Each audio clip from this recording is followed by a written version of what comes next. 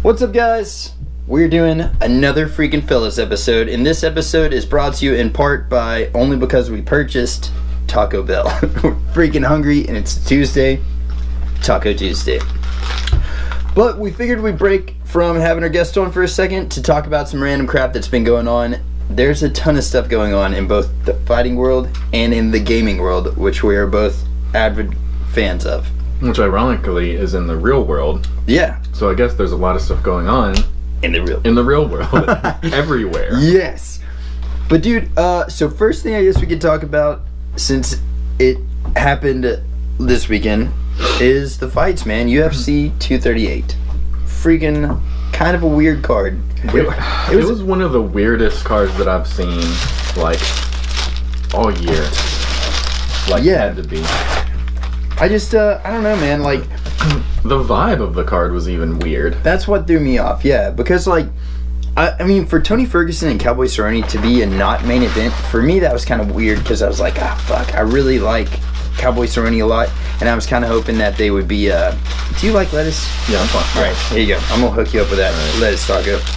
But uh, Cowboy Cerrone and Tony Ferguson not being the main event threw me off a lot. Like honestly, I really expected them to be the main event, and they weren't. But three rounds, and it ended so horribly, dude. He What- freaking was it the end of the second? into the second round, going into the third. Yeah, In the right. first round, I had it one for one, man. I had both fighters winning a round, Yeah. and uh, That's the first like that's the first time that I've seen Cerrone do extremely well under Yeah. pressure. Yeah. Like he was he was actually pushing forward a little more. And anytime uh, Ferguson came in, he was catching him catching him with jabs Yeah. before he could get to him. Yeah, he did such a good job of keeping his distance and stuff. So, I don't know, man. But yeah, I feel like one and one is how I kind of scored that, and they have to play that fight back, dude. Yeah. I don't. So basically, what happened was um, Tony Ferguson he landed a late hit, but it didn't Mhm. affect what happened. Everybody's gonna sit there and talk Yeah. about like it. I, I don't. I know he didn't mean to do it. Cause Yeah. I mean, when you're in that situation, like you hear the bell ring, and uh, if you're a fighter, just just about everything you base on like rules hmm comes from the ref. Yeah, And what happened in that situation is the ref did not step in yeah, when the bell rang. yeah, I mean, he It was- it, it was yeah. It was ninety. It was fifty percent the ref's fault and fifty percent Tony Ferguson's fault. Yeah, but, I mean, he hit he hit Donald really late. It was on the like chin area mm, the jab, but but uh, when that round ended, Donald Sterling went to his corner. His eye was kind of messed up. His nose was probably broken or Mhm. hurt really bad. And right before the round started, he blew his nose, and his eye just went. dude, it literally just swelled up like a freaking. I've never seen just that single eye do that. It and was maybe that's why it was so bad. It was yeah, instantaneous. The Mhm. moment he did that, his eye just like filled Yeah. up with air, and he Uh-huh. couldn't see. So they had to stop the fight. Yeah, but and two, I saw a uh, I saw like an Instagram post from Cerrone afterwards, and he just posted this today. But he was talking about how like there's no break. It was just it was just air, Yeah, uh, even totally in the fine. X-ray. I So saw he's that good. same post. Yeah, he said he's just waiting for his next fight. So A rematch or his next fight. yeah. Yeah. I, I don't know, man. I hope that they run that fight back, and I hope that they do a main event, even if it's a freaking fight night main event. That needs to happen, dude. Five rounds should happen with those two fighters. It's insane that it was a three round fight. Yeah. But then, and I then, think, like honestly, if I look back on it, I think the reason they made it three rounds was for Donald Cerrone's sake because he had just fought like 30 days prior. Mm-hmm. I could see that. But uh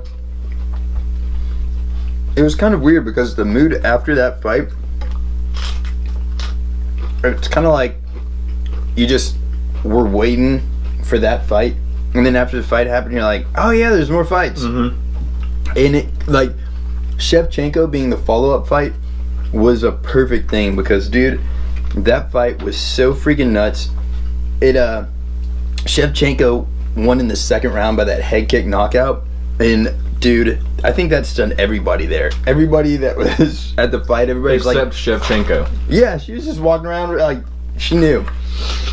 I already knew that Shevchenko was, in my opinion, Shevchenko is one of the like best female fighters Yeah. in MMA. Period. Yeah, I agree. down. Like she's she's right up there with Amanda Nunes. Mm-hmm. Like she could beat just about anybody you throw in front of her. Yeah. She, I mean, as far as that goes, And she's an went assassin. five rounds with Amanda Nunes. I mean, Yeah, beat Holly Holm, which Amanda Nunes at is her own game. Yeah, exactly. And you know, I think she set that head kick up perfectly too, because in the first round she was going to the body, and I mean it sounded like you were just hitting a freaking punching bag with a baseball bat whenever she The hit first her. Strike that she nuts. threw. Mhm. Was a power body kick and Mhm. it landed flush. It did. it looked painful, dude, and I'm surprised Jessica didn't go down then. So that was pretty impressive.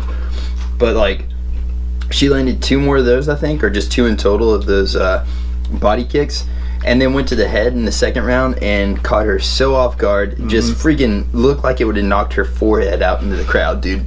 It was such a hard kick. It would have dropped anybody, dude. But uh, yeah, that was a really good way to like come back from that Ferguson fight because I think Mhm. every it and it shocked enough people I think to be like, all right, well the first fight that was crazy, but holy shit, that just happened. Mhm. So I feel like that was a really good rebound fight after that one. But and I don't know who they're gonna put her up against next, man. That division, I have no clue. Uh, they were talking about that Tatiana girl, Oh yeah. but if she tries to go in there and grapple with her, she's got another thing coming. If she Yeah. tries to go in there and strike with her, like she's not Tatiana's not going to try to strike with Bullet Valentina. I don't think anybody after watching that is going to try to do that. no. and just like uh, they're putting Holly Holm up against uh, Amanda Nunes now, it's like kind of going to be one of those striker versus what they're considering Amanda Nunes a striker because she knocked out Cris Cyborg. But like, honestly, that's not a really good matchup, man. You know? Because I think that I really believe Holly Holm is gonna yeah, gonna give her a run.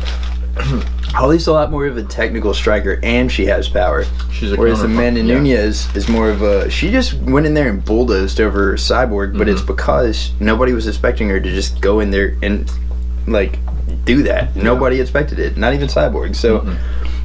I mean, that's what happens. I think Cyborg is just a little overly, you know, I guess kind of on her own hype train, and uh But I mean, that's what Cyborg did in all of her fights. yeah, She's bulldoze, pe- bulldoze people. I just don't think they thought that Nunes was going to do that. You know, I Mhm. think I don't think Cyborg thought for a second Nunes she is going to stand and her. bang with me. Yeah. I mean, that's what happened, man. And she got out outmatched, but it was just I mean, she got caught. Is pretty much what Mhm. it was because you you what, go back and watch that fight and you can see actually Nunes was shook a few times too. And everybody just makes it seem like Amanda Nunes just freaking smashed Cris Cyborg, which she did at the end there, but she also got caught a few times too. And uh, To smash Nunes, you've got to be patient. hmm You've got to wait for the barrage and counter. Before she hits you with that first punch, yeah, you counter. And I think Holly Holm's got really. I think she's got a great chance of winning that belt. But like, that's what I'm saying. And for Valentina Shevchenko, I don't know where where she goes after this. She's pretty much saying like that's her weight class. Like that's where she wants to be at. So I don't think she's gonna try to go up or down Mm-mm. and uh, and fight other people. I think she's just gonna end up being a uh, Demetrius Johnson and just owning that division. Which I mean, why not, man? yeah. I don't know. I think everybody now is looking at stuff like this champ champ situation. Like you have to be a champ champ to be a legit champion or Mhm. something. But like people forget about people like Demetrius Johnson, Stipe Miocic whenever he was on his reign. I mean, like fighters like that just owning their division. I think that's a huge thing too. But you were talking about uh, um, uh, Bad Guy Inc. His podcast. He was talking about that. Uh, what's his name? The Henry Cejudo fight. But you were talking about the champ champ situation. Yeah. Um.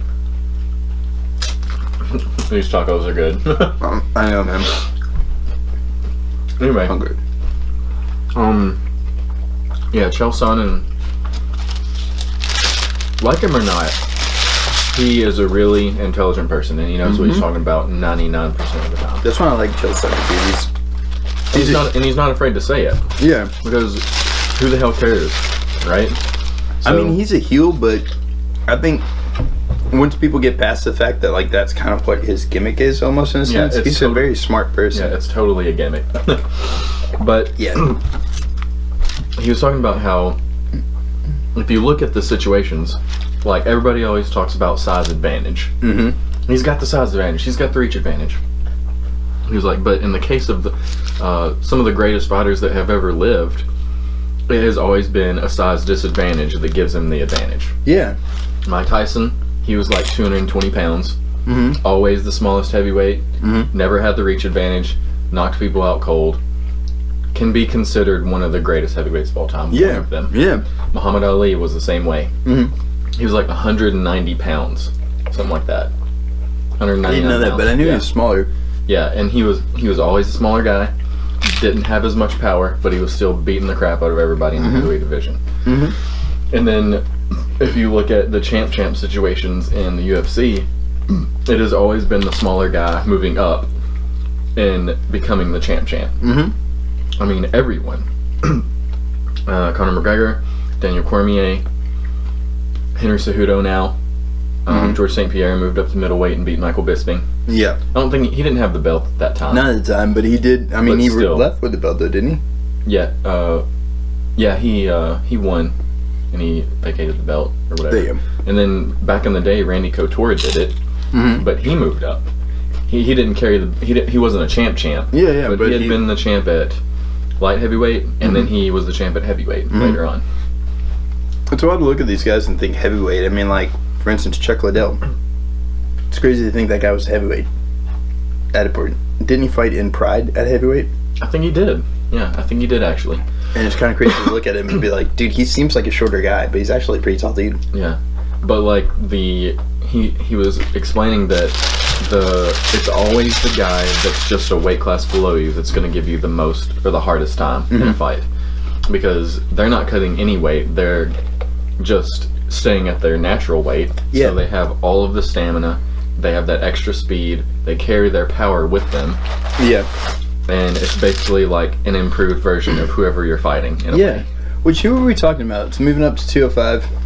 Um, chris weidman yes, that is gonna be freaking After trouble, hearing- dude. after hearing Chael Sonnen talk about that i was like oh my god Yeah, I was I'm like, really stoked about that Chris fight. Weidman could actually give so many people a lot of trouble at light Mhm. heavyweight. I mean, obviously, right now he's calling out Jones, but I want to see give him, a lot of people I mean, anybody in that division, I would love to see him fight. I would love to see him fight Glover Teixeira. I Mhm. would love to see him fight freaking Anthony Smith or Johnny Walker. dude, Johnny Walker right now, I think is on everybody's radar. He is like pretty much. I think the reason that a lot of people like him is because he's not such a smart ass version of Jon Jones. Mhm. Like he reminds a lot of people of Jon Jones. He reminds me of Jon Jones, but he's just like personality wise, he doesn't have all those all those personality flaws. Which so far, I can't get a good read on him. Yeah, Like, I mean, he's looked phenomenal, Mhm. but I mean, he hasn't total really had a whole octagon time is like less than a minute, right? Yeah, yeah, exactly. And he, he really hasn't been tested fully, so I think that's what a lot of people are kind of like have reservations for him in that sense because he really hasn't been tested. But I think he's he's been talking about like coming back, and I don't know when his next fight's going to be. But he said he wants to be more active than he has been. He just had to kind of wait and make sure his shoulders are okay, which he didn't know if that was something that you know. I mean, maybe he had been fighting already and uh, like been fighting with that injury, you know. yeah. So I'd like to see him fight Anthony Smith next. Anthony Smith, that'd be a freaking interesting fight, I think that that fight right there would decide who gets to fight Jones. I Mhm. mean, Anthony Smith, I don't think he deserves a rematch right now mm-hmm. because Jon Jones shut him down.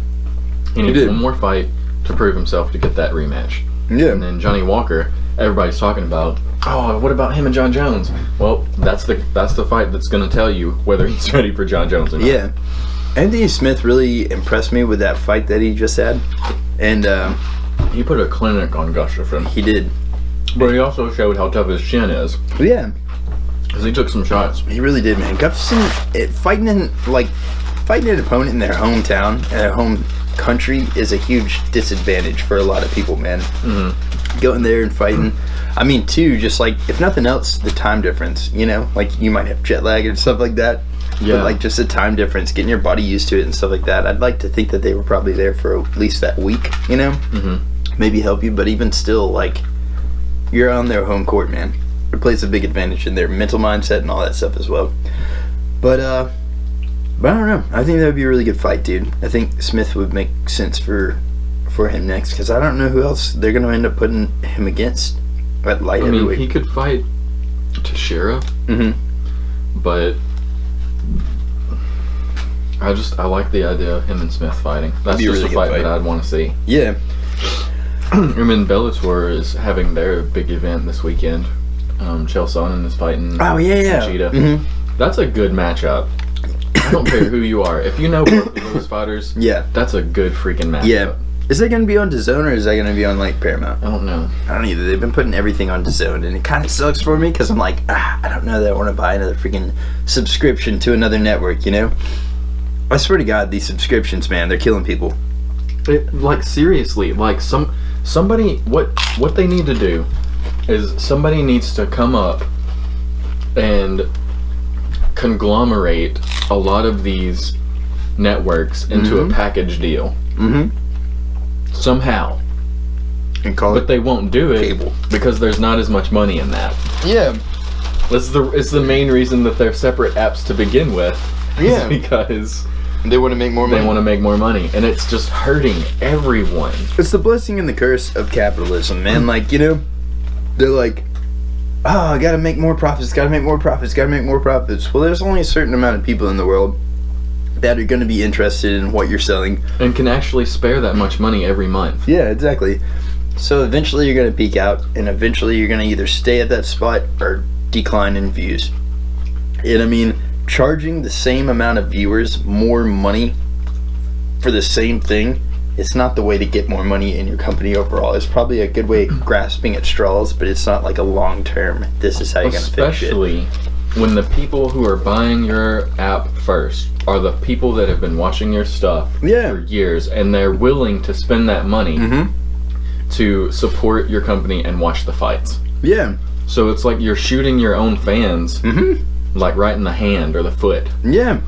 And I don't see it getting any better. Honestly, every single pay per view that we bought ever since the ESPN Plus deal has gone through, I've messaged ESPN Plus and I'm like, hey, it's kind of bullshit that you're like, oh, you know, a special members only pricing for the pay per view is supposed to be like fifty nine ninety nine. They charge me extra on every single one. Every single time I buy from them, they charge me extra. And then they just sent me an email today and they were like, "Oh, well, we've had a little price increase," but they told me that it was like fifty nine ninety nine whenever I bought it, and then they charged me more than that. So it's like every single time that I buy a pay per view from them, I get burned, and it, it's just been pissing me off, man. And they Crap. they just don't care. They're like, "Yeah, either watch it or don't." Uh, but fuck you, either way, you know. Mhm. If you want to watch it, watch it. If you don't, then don't do it. It's just bullshit, man. Because I feel like they feel like they have just a monopoly on on it right now on ESPN with the UFC deal that they've signed, and it's just kind of it. It definitely doesn't show any loyalty to your customers, you know, to your fan base. It just shows like all you're caring about right now is getting money. Yeah. And I think they're losing a lot, dude. I mean, as far as pay per view buys have gone, I don't know that they've broke a hundred thousand since they've made that ESPN Plus deal. I think whenever they whenever they actually get in get in there and they look at their numbers, they're gonna start re- reevaluating shit. hmm I don't know when that's going to be. I think it's probably going to be in a year or so. 'Cause they're But bleeding. yeah, dude. I mean, their first pay per view on ESPN didn't do. I- I think it was the lowest numbers that they've had in I can't remember how many years. And then they were like, "Oh, there's just glitches. There's just glitches right now. We'll fix it out for the next one." Which they have done it now. Where on the ESPN Plus app, you can actually buy the pay per view now. it's still flawed though. I mean, having to pay so much money a month, and then on top of that, having to buy the pay per view Mm-hmm. at full price is kind of fucked up, man. And what if you don't want to buy that subscription service, but you do want to buy the pay per view? They don't even allow that as an option. It's like, what the fuck are you guys doing, man? Yeah. It's so stupid. So, and then the last fight on that pay per view was the Henry Cejudo fight, and I still don't like the guy, man. He's the champ champ now, but he's the champ champ of cringe to me, and I just Cejudo is the he has the worst personality of any fighter Mhm. I have ever seen in my entire life, and I've been watching the I've been watching MMA for over 15 years, probably. Yeah. and I have never seen anyone as cringy and awful as that guy. Yeah, it's like they need to get somebody that He's writes. a great fighter, yeah, but he sucks as a human being. sucks absolutely. I think it's getting him in front of a lot of people or whatever for the wrong reasons. But some people look at any press as good press. But I think if he would go the old school Brock Lesnar lane and just not talk and Yeah. just be a scary guy or something. like completely honest honest here when i first saw him fight i liked him Mm-hmm. because he didn't he was just he went in there and he did work and he was beating people left and right Yeah. and the first time he fought uh, demetrius johnson i actually was like i think he's the first person to actually really give demetrius johnson a hard time Yeah. which demetrius johnson beat him Mm-hmm. but god he just turned into this freaking like He's just too full of himself, I He's think. so and then like the at the weigh-ins where he's like shaking Hmm. and just looking stupid, but it's like he's taking a note right out of Conor McGregor. So Yeah. It's like he watched the pay-per-view that or it's like he watched the freaking weigh-ins with him previously and he was like, Well if Conor's doing it, I guess I'll do it too. I'm like, dude, it just does not work with you, Henry. Mhm. You need to you need to pump the brakes, man. Just just pump the brakes. But I don't know. He's champ champ now, and he's got a gold belt. I don't know if or gold medal. I don't know if anybody heard that or not. But I He's mean, talking about fighting all these legends, Mm mhm.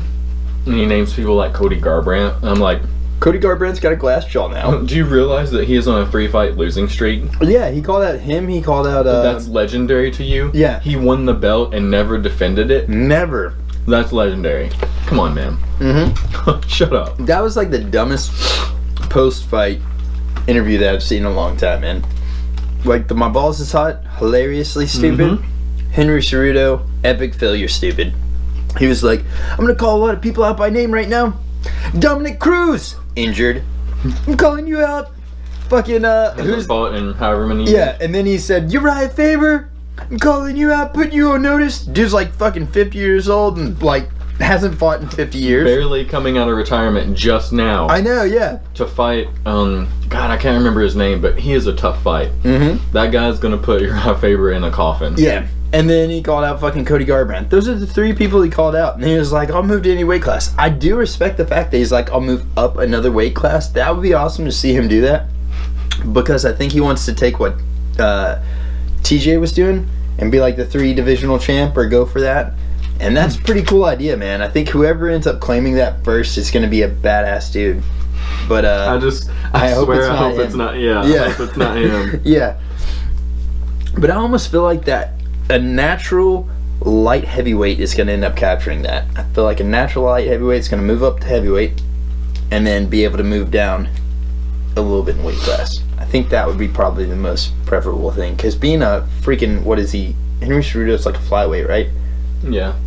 So that's what, one twenty five? Yeah, and then moving up to bantam 135, and then from there moving up a weight class. I mean that like, I don't know how much he cuts to get to 125. I think he said he he fights at like 140 though. I think once he cuts weight, so maybe he the featherweight champion right now. Hmm. Is it still uh? What's his name? I'm gonna feel really stupid if I get this wrong, but I think Like I, it's I uh. totally can't remember. Um, hold on. Whenever I say it, you're gonna be like, "Oh, okay." what is wrong with me? His uh, I know these. yeah, okay, yeah, it's uh Max. Oh, Max, Max Holloway. Holloway. God Yeah. dang it. That's what I was thinking, but I was like, is he featherweight? I'm pretty sure he is. So He's moved around so much recently. Yeah, I'm just like, yeah, because well, he moved up and then he was like, yeah, I'm just gonna stay down here. Because he lost to Dustin Poirier. Yeah, which dude, like, you know, I think that fight's gonna be huge. Dustin Poirier is hopefully gonna beat Khabib Nurmagomedov. Mhm. But yeah, I think there's a lot of really good fights coming up in the UFC. I mean, you've got like the Khabib fight in September. Hopefully, Dustin wins, and we've talked about this. But like Dustin winning that belt could be the best thing for that division because Mhm. if Dustin wins, then he can fight either Tony Ferguson or Cowboy. If they end up getting a rematch and then that rematch fighting him, but I mean, as of right now, it's probably going to be Ferguson. Yeah, if Dustin Poirier wins, there's a lot of good matchups to make. Yeah, Even Justin Gaethje can be thrown in there, you know? yeah. And we were talking about this, like, since everybody's trying to get that Khabib Conor fight again, it would be better if they did that at not a he- like not at a championship level, Mhm. and then that would give them like, you know, it's not holding up that division. in a sense because if they just keep on throwing Conor and Khabib, oh, it's a grudge match of the ages. Nobody really gives a shit about seeing that actual fight. Like Mhm. maybe, maybe like like fair weather fans of UFC care about that fight, but anybody that's a legit like martial arts, mixed martial arts fan, I don't think that anybody's really intrigued by that fight Mhm. anymore because he It's got honestly the same to me as when Conor McGregor kept wanting to fight Nate Diaz and they fought the second time. yes, I mean, the second fight was good too, it was a good but fight. I didn't care about it before it happened. Yeah. So I mean, I don't know. I just feel like if if he ends up losing that belt, I think it would be a better thing for the division because then now it allows for a lot more fights to happen. And Yeah. honestly, too, uh, Khabib's talking so much shit about like you got to pay me X amount of dollars. I'm the greatest champ and all this stuff. No, dude. No, you're not. People have haven't such fought hype. the greatest yet. I know you fought like to get to where he is. He fought a dude on like what a few days' notice. It was like a day's notice or some stupid shit Yeah. like that. He It fought like a day on a day notice, beat him. Uh, Al Iaquinta, right? Mhm. It was an Al Iaquinta fight, and couldn't finish Al Iaquinta. Snooze fest of a fight, and then he beat Conor McGregor to defend the title. Right, that was the Yeah. next fight, and. I mean, what, dude? Conor is on a two fight lose streak or three? I can't remember, but it had been over two years since he had fought, in, since he had had an MMA fight, Yeah, and he had been training straight boxing and he still that. went four rounds with him, and he's Yeah. not a wrestler. Yeah, So come on, Khabib hasn't fought anybody of note that solidifies him as the greatest. He hasn't. He never fought Eddie Alvarez. no. He never fought Tony Ferguson. He never fought Cerrone. I mean, Yeah, I mean, put somebody on your list that I mean, I get it. Probably He's like the what highest twenty seven and zero or something like that right now. But who ha- uh, who has he fought? like one of the highest fighters that he fought that he can even comment on anything about is probably Edson Barbosa. Mm-hmm. But I think that fight's gonna really. I hope that fight shakes up the division a lot because there's a lot of talent in there. Just like I feel like It's gonna show everybody the true nature of how unprepared Khabib is. Yeah. There's so many dude speaking of good divisions, like light heavyweight for me right now, huge. Heavyweight right now, huge.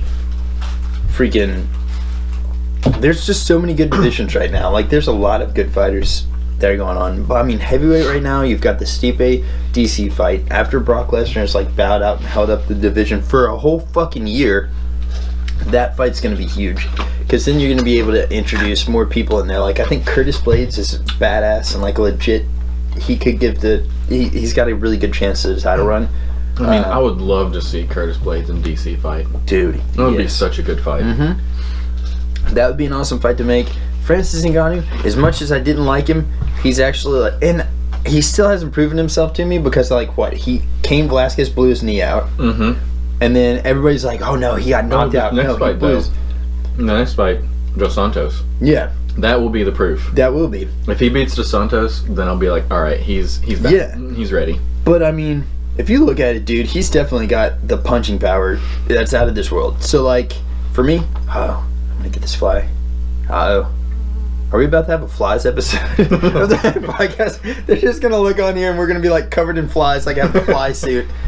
we're my like God. not talking. We're just like, you just hear bzzz the whole time.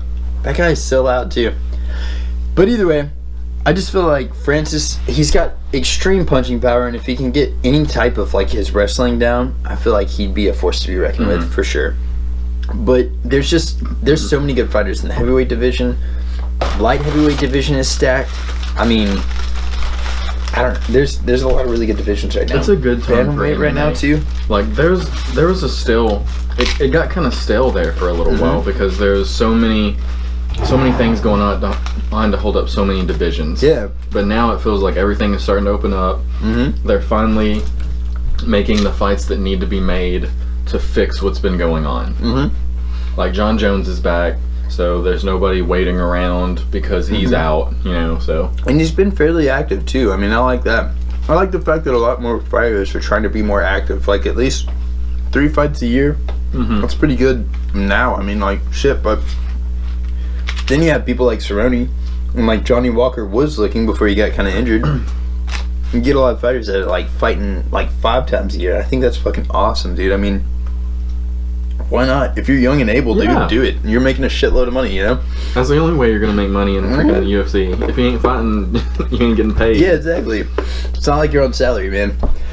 But so that's pretty much what's going on with the UFC right now. There's so much cool shit, and I'm so excited about even the next pay per view and the next few pay per views are going to be freaking out of this world. So I'm pretty stoked about it. But that brings us to freaking video games.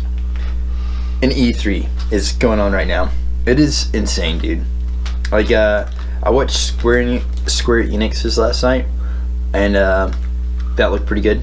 I feel like I've already seen everything that everyone has to offer because 90% of it got leaked Yeah. beforehand. Yeah. The cool, Which I, f- I feel like I feel like they said it was there was some sort of like security breach in like their the server of the E3's freaking I don't know what, but I mean it's stupid. Like you have an event that that's huge, Mhm. or that yeah that's that huge, and you like don't check your security or Yeah. whatever. Like come on. Mm-hmm. But Square Enix, the coolest thing I think on that, like obviously, huge fan of Final Fantasy VII. Re-releasing that, or remaking that. And uh, did you get to see the the Square Enix uh, E3? Mm-mm. Dude, I know you had some reservations about Final Fantasy VII Remake, but if you watch the new fighting systems and stuff that they've actually got, they do a lot more gameplay, and it is so fucking cool. If it's executed properly, which it looks like it is, but if it's playing smoothly as it looks in the demos, it's gonna be fucking nuts. I feel like I'm not Final Fantasy sometimes because I never really got into it that much. hmm but I recognize its like pull Yeah, or the what's to like about it. yeah. I still don't know why they're releasing it in episodes because I'm like I think they're doing two. everybody knows what happens. Yeah. it's not like you're keeping a secret from us. Yeah. Like, oh What's the god, big what, reveal? what comes next? So like, Maybe they'll swap it up this time and Tifa will die instead of Aeris. And then, you know, y'all will live happily ever after. And then Yeah. that's it. But they said actually uh, Final Fantasy VII is going to be pretty much two Blu ray discs completely full of a game. So they're going to break it up into two parts Midgar and then everything after. Which to me seems fucking crazy because I just replayed Final Fantasy VII, right? Midgar's pretty short, right? Right. Yeah. I mean, it took a long time whenever I was a kid to beat Midgar, and I think that was the end of disc one, if I'm not mistaken. I think so. But it was like Midgar was this one place, and it had a good story, like a condensed story. But then as soon as you get out of Midgar, it's like open world, and everywhere is explorable at all time. Like you Mhm. can't, you can actually later on disc three. I think you can go back into Midgar if you get this key and you can go back in there. So like, there's so much shit in after Midgar that I don't see how they're gonna put all that. If they're putting all of Midgar on one Blu-ray disc, I don't see how they're gonna do all the rest of it on another Blu-ray disc and not have like three discs. Still, I don't see how they're gonna do it, man. But that looked really cool. The game, the the fighting system looks really good. Like as far as they're doing a uh, like Cloud has a sword, so he can do really good close range stuff. But then Barret, like there was this, uh, there's this um, a bad guy, like a monster or something, that like jumped on the walls and was like really far away from you. So Cloud couldn't do anything but like throw materia at him. And uh, Barret's like over there, like blasting the shit out of him with his Gatling gun. It looks really, really clean, man. And you can swap between which character you're wanting to control, and like uh, you can you can kind of button mash, but there's like there's different. It's just it looks like a really streamlined combat fighting system. Like, Like, instead I of like it. having a chance to for the enemy to miss you, you can dodge or like Yeah. guard. hmm Yeah, so it looks really, really clean, And it looks like, I mean, even if you are good at dodging and stuff, there's going to be some shit that's going to hit you from bosses that can just obliterate you, anyways.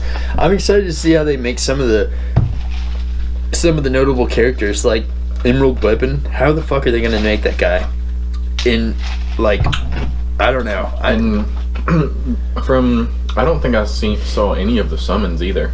Yeah, I don't know. Yeah, I don't know. I saw any of the summons on the E3. But there's that. There's so much stuff that they haven't actually shown in the in the actual uh, E3 gameplay that I. There's a lot of unanswered questions on it. But also something that we just saw was Breath of the Wild's getting a sequel. That's exciting to me. Yeah. I, like I was so late to the game, and like I just finished Breath of the Wild this year. Yeah. So like, for me to see that, I'm just like, what? Mm-hmm. And from the looks of the trailer, it was only like a short little cinematic trailer, but it looks to me like it's going to be directly after Yeah. the events of Yeah. what happened in Breath of the Wild, which is really cool because a lot of Did you get it? caught him No, for a second. But He's like, "Fuck that, I'm not going over he, there he escaped. Yeah. But like the uh a lot of sequels don't do that nowadays. Mhm. It's some kind of weird random side story. Yeah, yeah, you've yeah. Never Mhm. characters you've never heard of, but this looks like it's directly after. And I think that they knew that they needed to do that with the way that they released Zelda games before, because most of them have never Mhm. been that way. Yeah, yeah. It's always some alternate timeline or Yeah. some different tale of a different hero Mhm. that's kind of like Link, but yeah. not. Yeah. Exactly. And this one looks like it's directly. Which they did such a good job on Breath of the Wild, and that's why I think they're calling it Breath of the Wild 2 or like the sequel to Breath of the Wild instead of it being like, you know, Another uh, thing that I kind of heard that was kind of like a fun fact about Breath of the Wild was it's kind of like a remake of the original Legend of Zelda. huh. But I'm pretty sure that's what they said by the way the story went. Mhm. Because like in the original Legend of Zelda, Ganon was kind of like this entity that was like chaos, Yeah. and that's sort of what happened in Breath of the Wild. And there's That's a lot of similarities between the story of the original one for regular Nintendo and Not and Breath of the Wild, it was like the one before that. Or not Breath of the Wild, not Link to the Past, it was just Zelda. Yeah. Cool. I don't know, man. I'll have to go back and replay it because I've got the, uh, I've got like that, um, uh, Nintendo Classic. It's actually a lot of fun. I went back Yeah. and played it recently as well, and it's a lot more fun than you think. Yeah. I love old games, man. Link to the Past is kind of what I grew up on. Dude, so I that really one get into so freaking good. It was, dude. The one I ended up rebeating that last year, I guess. Mm-hmm. So clean. And I'll tell you something funny about Link to the Past. I never beat it whenever I was a kid, and I went back and played it um, like five, six years ago. I went back and played it, and I never knew that once you beat Ganon in the first little castle, that there was a whole nother world after Yeah, that. the Dark World. So yeah, I was like, oh, I beat the game. Wait, what the fuck? And then I get like a whole nother world. So it's the same world, it's just dark, and like you have to do all the same shit and everything else. it was so freaking mind blowing for me Mhm. whenever I first played it, and I thought I was like at the cusp of beating the game. I just never beat it whenever I was a kid. Nope, not even close, dude. That game was huge. But yeah, I, like Nintendo's doing their uh, presentation right now, and I'm really stoked to see what all they do with that. It's gonna There's be good. another game that I just of. Mhm. Dying Light 2. Mhm. Did you see it? Dude, Yeah, that, yeah. that's going to be so Looks so good. cool. I played the, Dying Light, the first one, was Mhm. one of the very few first games that I got for PS4 Yeah, because it was on sale on the PlayStation Store, Mhm. and I downloaded it from that, and I played the hell out of that game. It was Yeah, so fun, like one of the better, one of the best first-person zombie games I've ever played. dude. Yeah, Like you had your different skill trees, like you could go. There's like combat, and then gadgets, Mhm. and then like um, acrobats, kind of Mhm.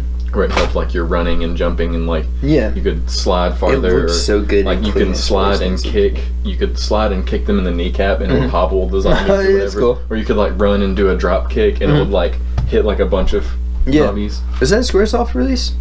I don't know. Because I think uh, I think it. I think it happened Square Enix, during Microsoft during the Okay. Microsoft presentation. but I, I saw the I saw the video of the E3 thing. it looks so good. Yeah, like you play as a new a new character, but like Mhm. the way that it is now is like they're basically the world is kind of trying to semi rebuild Mhm. after this infection. So Mhm. there's like different factions of people that have like gathered together and like rose up to Yeah. you know, and they have different morals, and you can like help. These are the people that give you side quests and stuff, Mhm. and like different things that you do for these groups affect the city Yeah. or the environment. Dude, that's gonna be crazy. So like if you if there's these people that need to turn on this water supply to get water to their people or something, like you end up turning it on, and it opens up different areas different because you turn the water on. Yeah, dude, that's gonna be crazy. I don't like. I love zombie games, Left 4 Dead and stuff like that. Were always really fun, but there's never really, for me at least, been a, good zombie game that had like a really good, unique story that was like open world and stuff. did.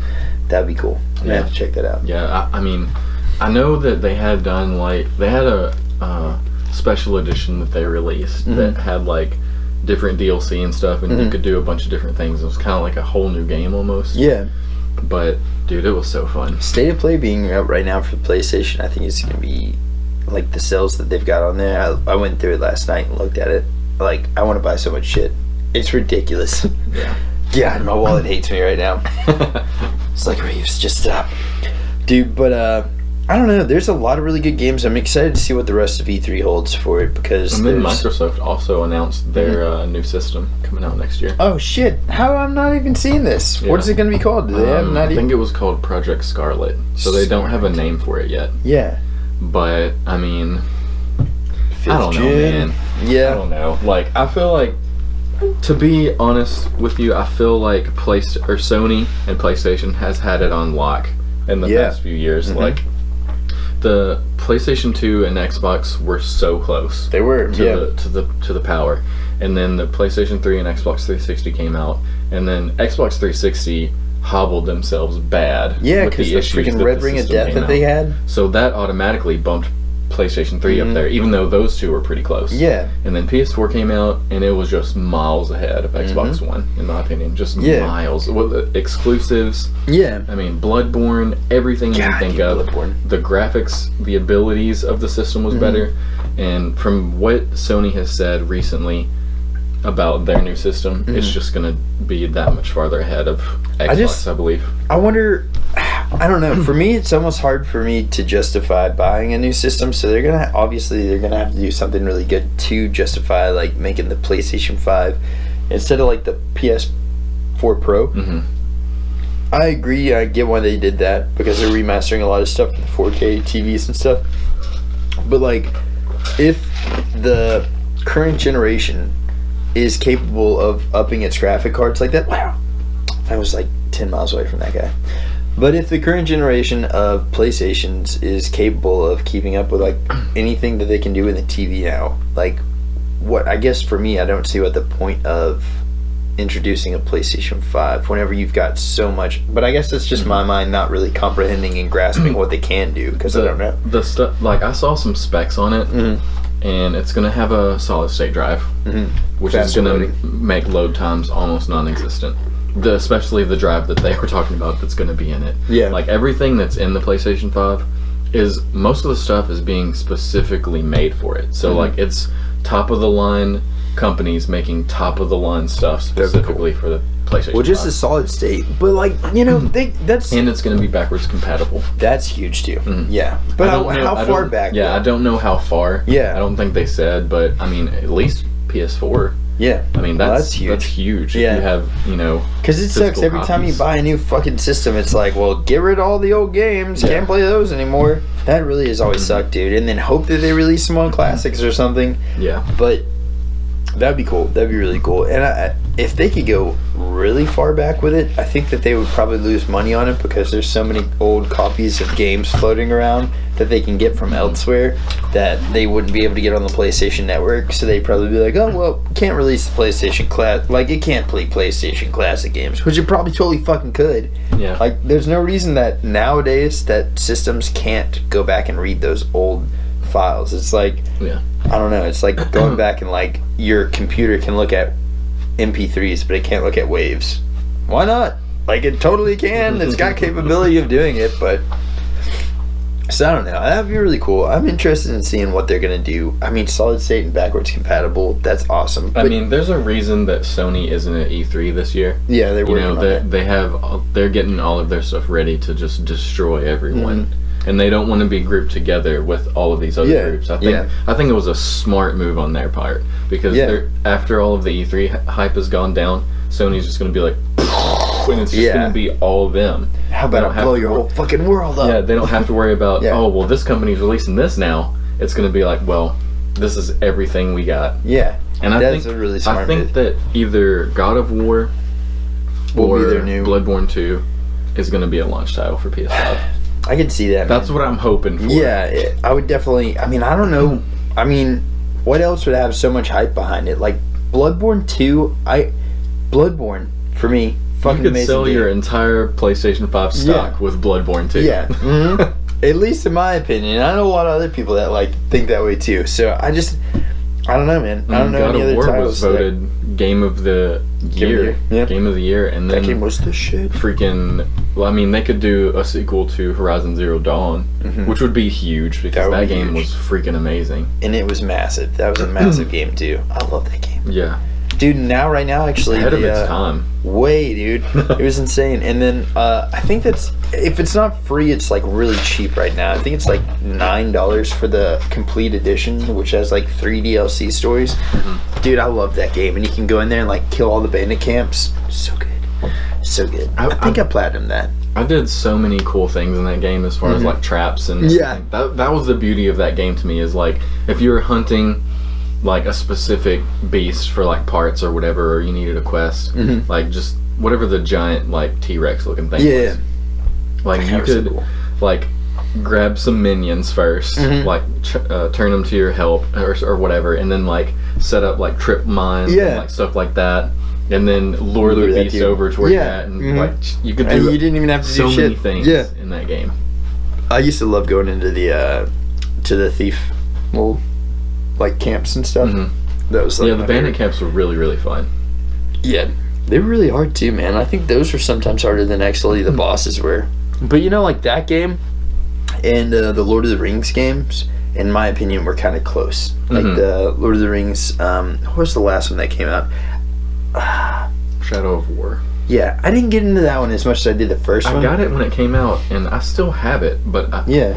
like the crappy part about that game is right is when it came out, it was it had a lot of problems. Mhm. Like it had a it was plagued with issues, and it, it was to the point to where I stopped playing it because there's stuff that made me so mad. Yeah. Like, um, one of the issues was there was this big glitch to where if you didn't do this certain side quest before you started um you because what you can do is you can turn followers Mhm. and make them get get them on your side Yeah. and they'll become part of your army like generals and you can, Yeah. if you beat one general you can set your own general up in his spot Mhm. and like if you don't do this certain side quest before you start setting up your generals the glitch was it would just your generals would just go away Oh, that sucks, Like- dude. Jesus Christ. and like there's Yeah. some of these guys that I would that I tracked down specifically for my army. Yeah. And like I mean, there's a guy that I fought for like probably ten minutes because he was immune to all of this stuff that I was Mhm. trying to do to him. Yeah. Like you couldn't flip over him or you couldn't like Yeah. dash him. You couldn't those shoot guys were the arrows at him. You Mhm. couldn't stealth kill him. Yeah. And like I hunted So him just gotta down go in there and brawl. to just get him for my army, and he Yeah. was gone when I opened my map one time, and I was like, all right. Fuck. I was Yeah. like, I, I can't play Yeah. this anymore. And that's probably for me as a gamer, that's one of the biggest things that will like turn me off of a game is like your progress being null. For me, like in in old games, that's why I kinda like autosave a lot more now. And if you go back and play like PlayStation classics, like going through Final Fantasy VII, I uh I went and did what was it that I did? No auto.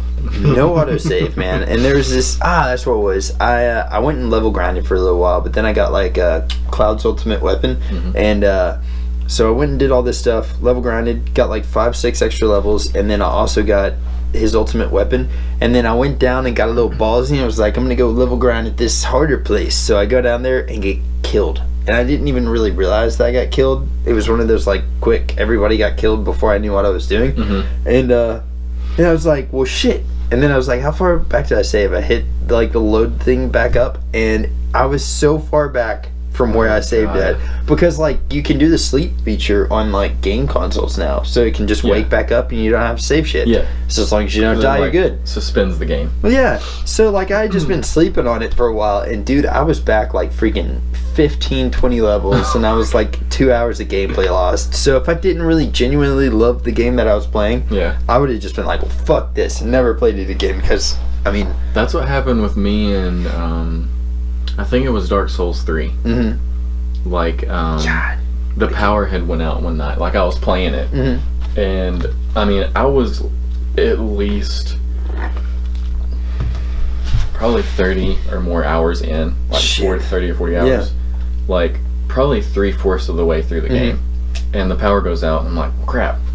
And then it didn't come back on that night, so I just like ended up going to bed. And Yeah. the next day, like I load on my PlayStation, and you know it goes through the whole process where you Mhm. didn't shut it down Yeah, properly yeah, or whatever. yeah.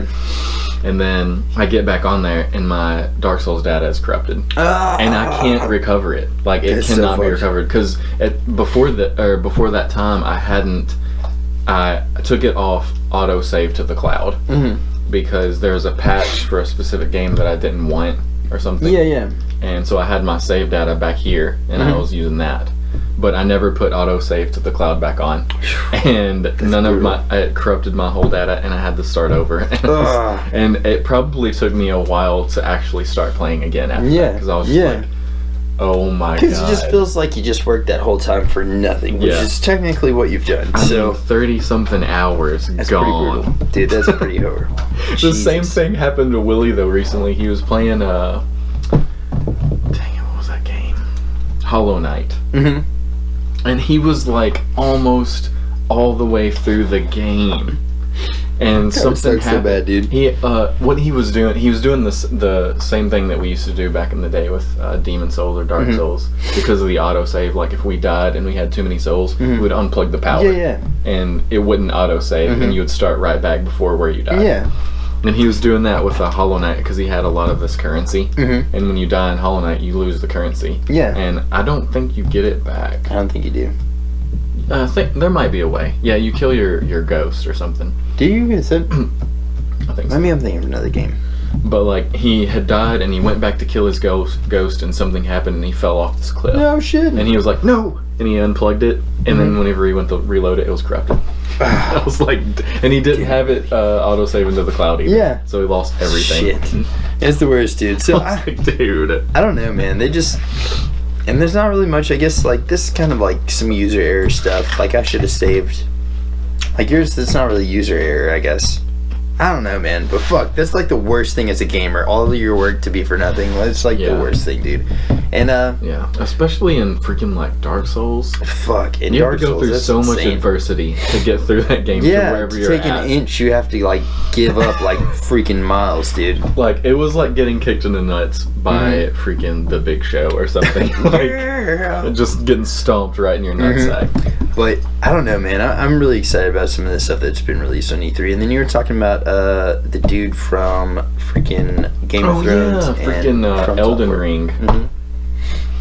I'm so excited. For I gotta- that. I gotta see I haven't. I mean, trailer. they only had like maybe it was like maybe a minute and thirty or 2 Mhm. minute long cinematic trailer, I gotta see it. but it's from the same guy that is do, that done all the Dark Souls, like the Miyazaki or whatever his Mhm. name is. And That guy is such a freaking masterminded yeah, person. Like and George R. R. Martin from Game of Thrones. Yeah. They, it said basically a, a new world created by these two guys. And like just from the cinematic, I was like, It's gonna be huge. I mean, I already have it pre-ordered in my brain. Yeah, Like, yeah. I mean, got- action. It, it said action RPG, which I guess that's technically what Dark Souls is Yeah. considered. So Mhm. I'm hopeful that it's going to be a very Dark Souls esque.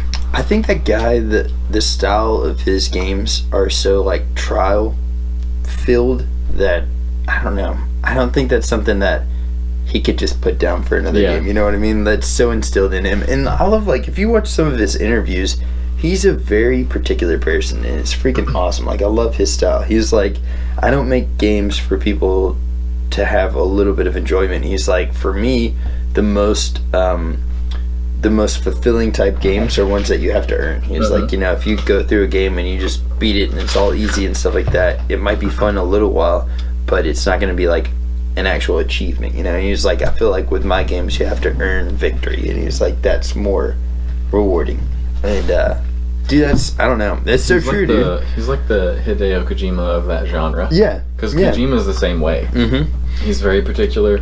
Everything that happens in a Kojima Kojima game is because he wanted it to be Yeah, that way. yeah. There's nothing that you're like, oh, I wonder if this is supposed to be that way. No. If something happens in that game, it's because he wrote it to be that way Yeah. specifically. Which that's how it should be, man. If more Mm-hmm. if more game writers were hands on or were allowed to be hands on, I'm sure they would be hands on if some companies like EA didn't just shit all over their. Dude, that's Ideas. another thing. Oh my god. I saw the Star Wars um, Jedi Order or whatever it was called Mhm. coming out for EA. Uh-huh. And like, it kind of looks okay.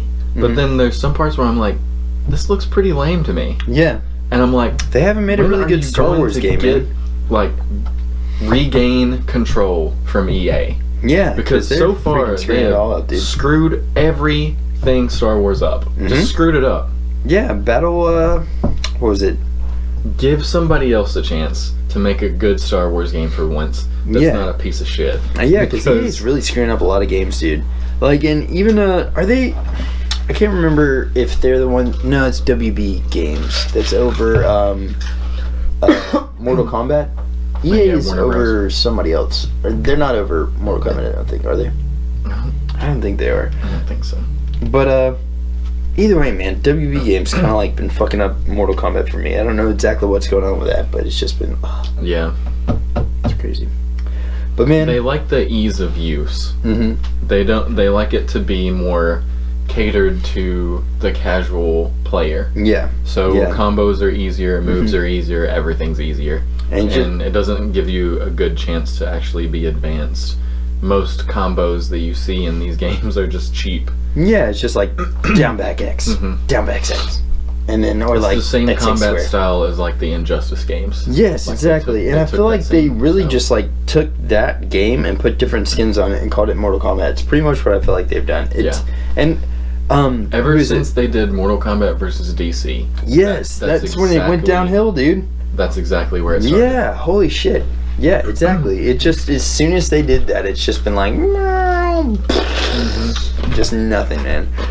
But I don't know. I'm excited to see what else comes out of E3. This is gonna be a good year for it. I think there's gonna be a lot of good stuff. And then, Yeah. like you said, Borderlands 3 is probably my most hyped game for this year. Borderlands 3 and Death Stranding.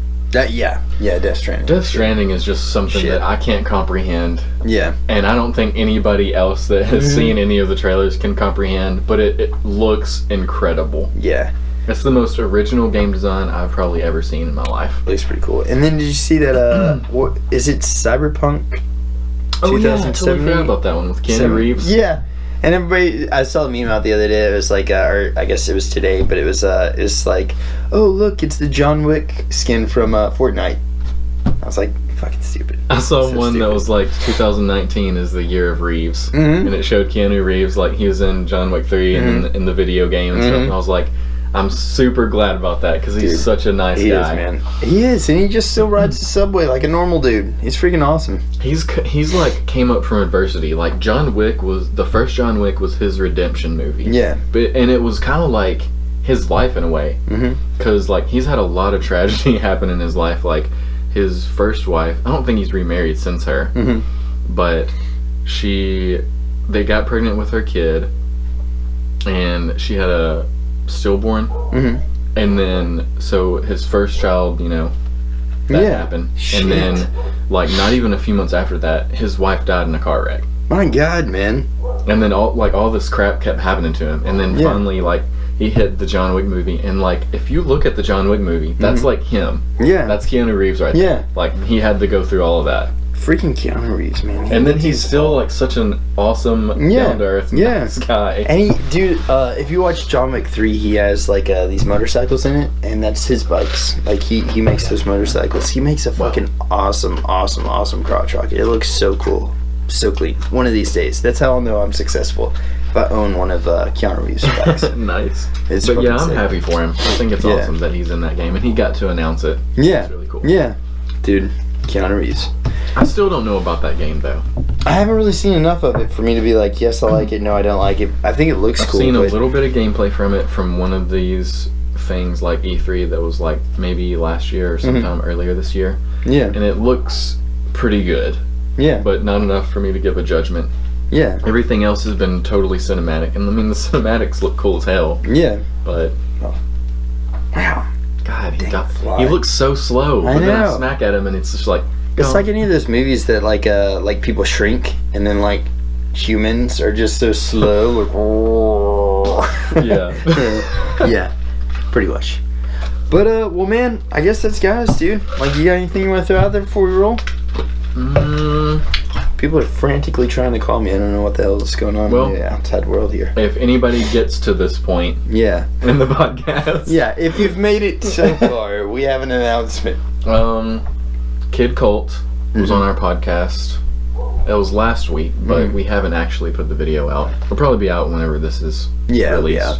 But um, they're an awesome band, great group of people, Mhm. and they performed uh, Heck sessions with us, and it was phenomenal. Like, Yeah. I really hope that they start getting some recognition and making it far out there because I have yeah like, likewise man that sick and sad song of theirs. Mhm. Like, it's been stuck in my head ever since they played it mm-hmm and like that says a lot Yeah, because like I usually I'm flooded with music in my life mm-hmm because I love music so much, and for a song that comes from a local band or whatever to stick in my head, you know, it's pretty big yeah yeah they deserve recognition, and yeah that I hope that we can help them reach reach that. Dude, no joke. Yeah. and like we've got I, I don't know. I I hope that that's a big focus. I think that's something that we're going to kind of work more towards is like getting more uh more musicians on here as well too. Like having these Heck sessions that I freaking love it, dude. It's super fun for me because I don't necessarily go to shows as often as I used to, especially whenever I was in a band because I was Mhm. at shows like every weekend.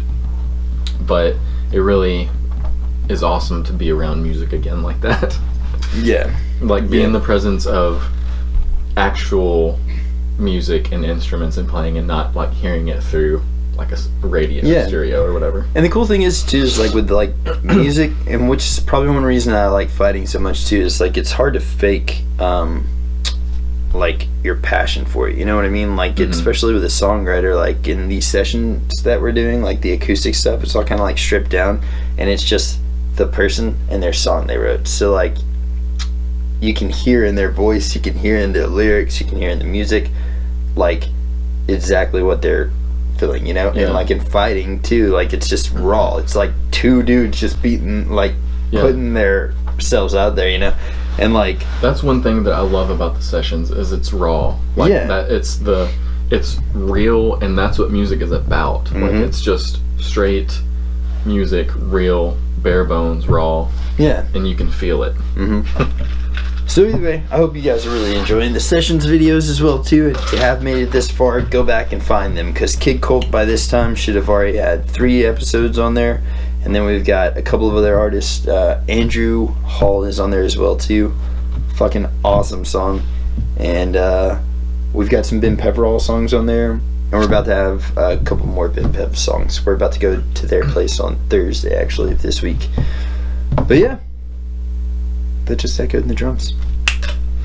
You guys take it easy, man. You got anything else you want to throw at them? Uh go get some tacos. Taco Bell. This isn't Tuesday. When you see this, Mhm. get some tacos anyways, because it's Yeah. Tuesday right now. it's Tuesday somewhere, guys. Hell yeah. But alright, man. Y'all be good. Subscribe and shit. That's all I got.